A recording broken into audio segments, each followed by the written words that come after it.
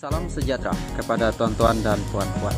Kali ini satu berita saya nak kongsikan kepada anda. Sebelum itu, siapa yang masih baru di channel ini, sila pertimbangkan untuk menekan butang subscribe, like, komen, dan share supaya anda tidak akan ketinggalan info-info menarik yang akan saya sampaikan di channel. Salam sejahtera.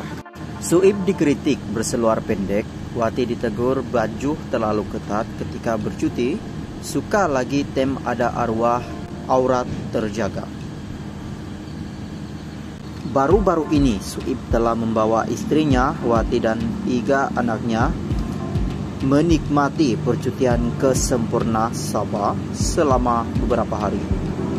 Bagaimanapun pelawak itu meraih perhatian, warganet selepas dilihat memakai seluar pendek, paras lutut malah anak lelakinya juga sama. Sesetengah daripada pengikutnya menegur Suib untuk menutup aurat dan ada yang menyindir mengatakan bahwa aurat lelaki lebih mudah untuk dijaga. Tak sama macam waktu ada Siti Sarah dulu.